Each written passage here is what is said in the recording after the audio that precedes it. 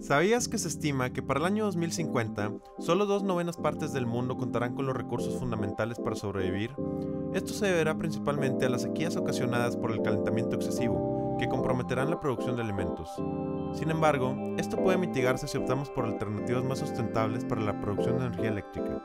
Tal es el caso de la energía solar, que se obtiene mediante placas especialmente diseñadas para convertir la radiación del sol en electricidad. En el caso de España, con 17 centrales, se evita la emisión de más de un millón de toneladas de gases de invernadero al año. Tú también puedes contribuir desde tu hogar, cambiando tus focos incandescentes por focos fluorescentes.